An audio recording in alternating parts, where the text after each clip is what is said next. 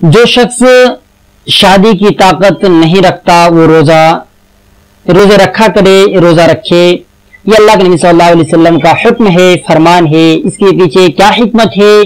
کیوں اللہ کے نبی صلی اللہ علیہ وسلم نے یہ کہا کہ جو شخص شادی کی طاقت نہیں رکھتا ہے، وہ روزہ رکھے؟ کیا وجہ ہے؟ آئیے ہم اس کے بارے میں اس ویڈیو کے اندر جانتے ہیں۔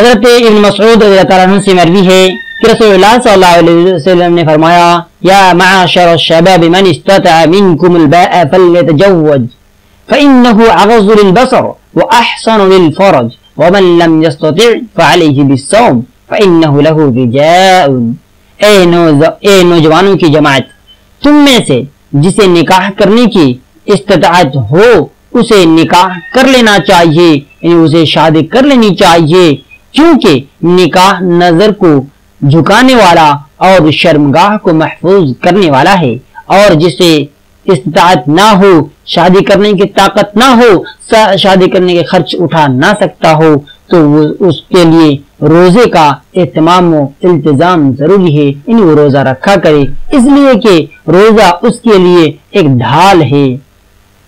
اس سلسلے میں ابن حجر رحمت اللہ علیہ فرماتے ہیں کہ اس حدیث سے یہ ارشاد موجود ہے کہ روزے سے اصل میں مطلوب شہوت کو توڑنا ہے۔